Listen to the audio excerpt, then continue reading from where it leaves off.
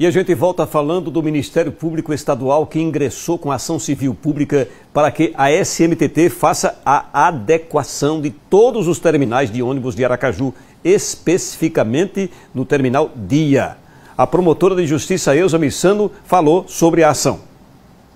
Foi um terminal entregue pelo município de Aracaju há pouco tempo à população, mas que, segundo a instrução no inquérito civil instaurado e apurado no Ministério Público, não detém ainda os equipamentos necessários de segurança é, de combate a incêndio e pânico. É, então, o Ministério Público, na ação civil pública, pede que haja esse atestado de regularidade que é emitido pelo Corpo de Bombeiros Militar de Sergipe,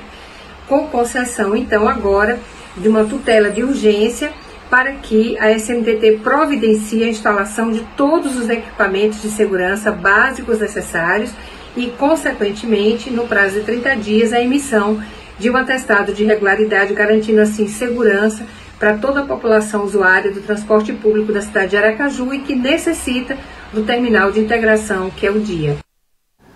A SMTT, a Superintendência Municipal de Transportes e Trânsito de Aracaju, informou que todos os itens previstos no projeto de combate a incêndio e pânico, aprovado pelo Corpo de Bombeiros de Sergipe, foram executados no terminal de integração do dia, como, por exemplo, a instalação de sinalizações, extintores, sistema de alarme e a formação de brigadistas.